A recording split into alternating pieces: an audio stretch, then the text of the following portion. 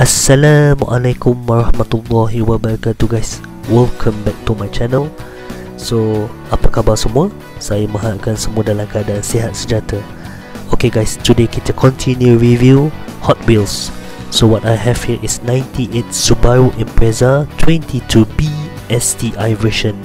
And this card is from the factory sale 2021 So this card is from the series of Hot Wheels J Import Of course, it is a JDM. So JDM stands for Japanese Domestic Market.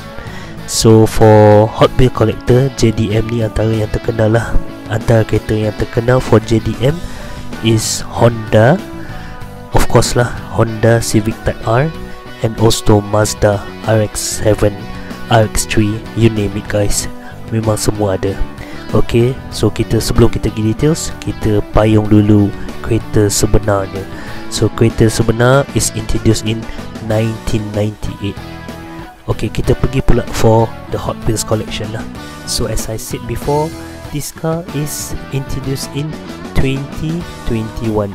So it comes from the series of Hot Wheel J Import card number 1 out of 10. So the punya color is metal flake dark blue So the tempo pula kita tengok is the detail headlight and also the detail tail light. So kalau boleh nampak sekejap lagi dia memang ada STI on front bumper. So for the chassis pula it is grey and it is plastic. So dia punya window color is tinted. Interior color is black.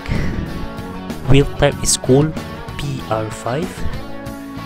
Dia punya toy number is GTB01 and it is made in Malaysia truly Asia guys.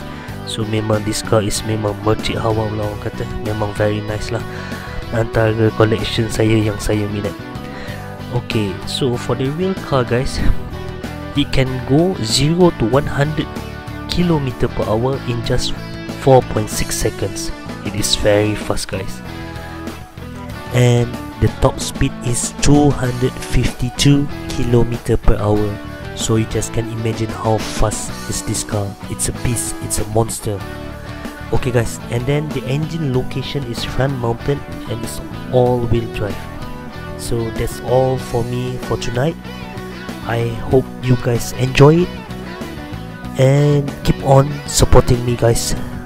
Okay, so and lastly, please don't forget to like, comment, subscribe and ring the bell. Okay guys, enjoy. Bye.